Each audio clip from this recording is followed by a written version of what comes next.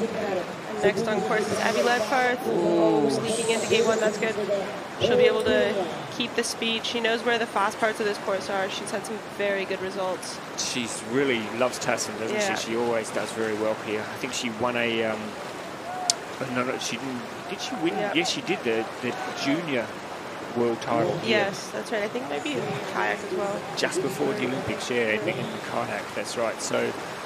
Looking here, she's still just 19 years of age. She was second here last year in the World Cup, which was, I think, one of her best results in Senior World Cup Yeah. racing.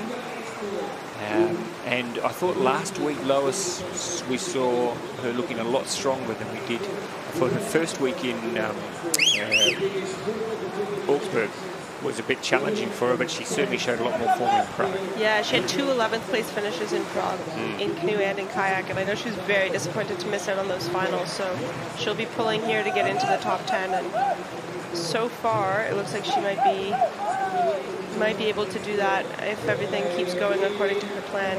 She just needs to stay clean. That's the key here because her time is outside that of Eleanor Lilik's, but uh, Eleanor, there's a gap of more than five seconds between Eleanor Lilik's time and the second best time. And- Oh, oh, she's gone. Uh, she can, if she doesn't, oh no, I was going to say she. Pretty big loop. I think she'll be losing maybe too much time to make it into that top 10. Okay, let's see how But she we'll goes see. now. She's got to really maybe take a risk here.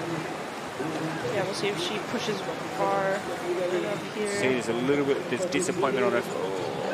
No, she's done okay, but. Yeah. that time is now sneaking out. Unfortunately for Evy Leibfarth, she'll be disappointed. I think she would have looked at this field today and thought there is a final for the taking.